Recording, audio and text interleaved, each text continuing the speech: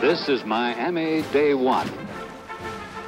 The Republicans decided to hold their convention south of the Mason-Dixon line, and I blew that one. Let's.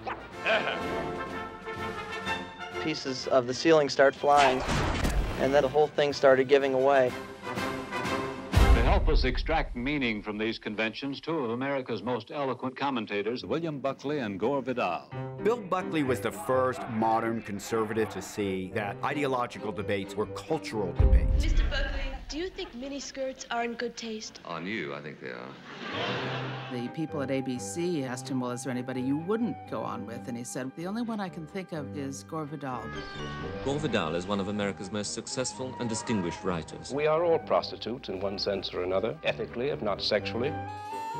For Buckley, Vidal was the devil. I am a happy warrior. I'm in battle. I'm enjoying it. He represented everything that was going to moral hell. These were two visions of America clashing. Each thought that the other was quite dangerous. All this security makes me very nervous because it's necessary, apparently. If Buckley were not taken out, his ideas would take down the nation. The country is being split at the seams. It's almost as if they were matter and antimatter. Say that again. Freedom breeds inequality. Now, I'll say it a Uh-huh. third time. No, Yeah, twice yeah. is enough. He's always to the right and almost always in the wrong. I confess that anything complicated confuses Mr. Vidal. A grotesque example. Okay, no. This Must is somehow bold dash. attack. Shut up a minute. He's nothing feigned. They really do despise one another.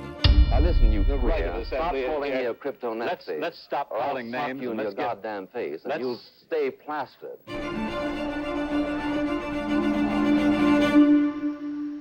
This is William F. Buckley Jr. in New York.